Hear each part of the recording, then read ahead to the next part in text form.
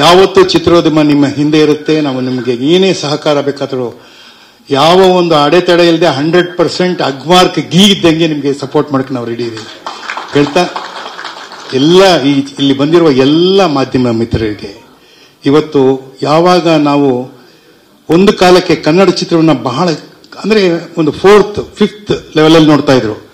ಇವತ್ತು ಕನ್ನಡ ಚಿತ್ರರಂಗನ ಬಾಲಿವುಡ್ ಅಲ್ಲೇ ಅಲ್ಲಾಡೋಗ್ಬಿಟ್ಟಿದೆ.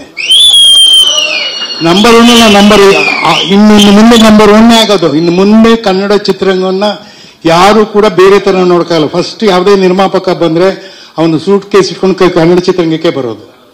ಇನ್ಮೇಲೆ ಅದೇ ಇವಾಗ ದಾಟಿ ಆಗುತ್ತೆ. ಅದಕ್ಕೆಲ್ಲ ನಾಂದಿ ಹಾಡ್ತಂತ ಅನೇಕ ಶ್ರೀಮಂತ ನಿರ್ಮಾಪಕರು, ನಿರ್ದೇಶಕರು ಈಗಾಗಲೇ ನನಗೆ ಬಹಳ ಕಡೆ ಹೋದಾಗ ಮದ್ರಾಸಲ್ಲಾಗಿರ್ಬೋದು ಟ್ರಿವೆಂಡ್ರಮಲ್ಲಾಗಿರ್ಬೋದು ಹೈದರಾಬಾದಲ್ಲಾಗಿರ್ಬೋದು, ಅವರಿಗೆ ಹೆಸರುಗಳಿಗೆ ಬಂದಿರಲಿಲ್ಲ ಫಸ್ಟ್ ಎಲ್ಲ. ಏನ್ ಸರ್ ಅದು? ಎನ್ನ ಅದು? ಕಾಂತ, ಕಾಂತಾರ ಕಾಂತಾರ ಅಂದ್ರು.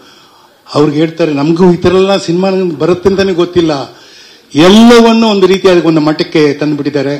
ಕೆ ಜಿ ಎಫ್ ಇಂದ ಪ್ರಾರಂಭ ಆಗಿದ್ದು, ಅಲ್ಲಿಂದ ಪೊಗರು ಬಂತು. ಪೊಗರಿಂದ ಆಚೆಗೆ ಈಗ ಬರ್ತಾ ಇದೆ. ಕೋರ ನಾವು ಇವೆಲ್ಲ ಕ್ರಾಸ್ ಮಾಡಿ, ಇದು ಆ ಲೆವೆಲ್ ಹೋಗ್ಬೇಕು ಅಂತ ರೀತಿಯಿಂದ ನಾವು ವಾಣಿಜ್ಯ ನಿಂತೀವಿ ಆಲ್ ದ ಬೆಸ್ಟ್ ಮತ್ತೊಮ್ಮೆ, ಮಗದೊಮ್ಮೆ, ಇನ್ನೊಮ್ಮೆ.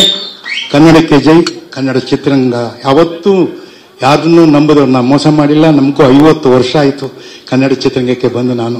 ನಾವು ಎಲ್ಲವನ್ನೂ ನೋಡಿದ್ದೀನಿ ಯಾಕಂದರೆ ಬ್ಲ್ಯಾಕ್ ಆ್ಯಂಡ್ ವೈಟ್ ಕಾಲದಿಂದ ಇವತ್ತು ಡಿಜಿಟಲ್ ಕಾಲದವರೆಗೂ ಬಂದಿದ್ದೀವಿ ಏನೇನೆಲ್ಲ ನೋಡಿದ್ದೀನಿ ಅಂತ ನೋಡಿದಾಗ ಇದು ದೊಡ್ಡವರ ಆಶೀರ್ವಾದ ದೊಡ್ಡವರಂದ್ರೆ ಗೊತ್ತಾಗತ್ತೆ ನಿಮಗೆ.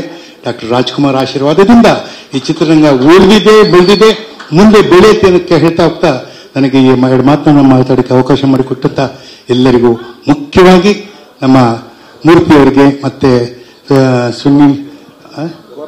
ಕೋರಾಮೂರ್ತಿ ಇನ್ಮೇಲೆ ಕೋರಾಮೂರ್ತಿ ಅಂತ ಕೋರಾಮೂರ್ತಿ ಕೋರಾಮೂರ್ತಿ ಅಂತ. ಮತ್ತೆ ನಮ್ಮ ಸುನಾಮಿ ಕಿಟ್ಟಿಗೆ ಹಾಗೆ ಗುರುಜಿಗಳಿಗೆ ಧನ್ಯವಾದಗಳನ್ನು ಹೇಳ್ತಾ ಎಲ್ರಿಗೂ ಹಾಗೆ ನಿರ್ದೇಶಕನಿಗೆ ಹೊರಟಾಶ್ರೀಗೆ ಆಲ್ ದ ತುಂಬಾ ಚೆನ್ನಾಗಿ ಮಾಡಿದ್ದಾರೆ. ಕಂಗ್ರ್ಯಾಚುಲೇಷನ್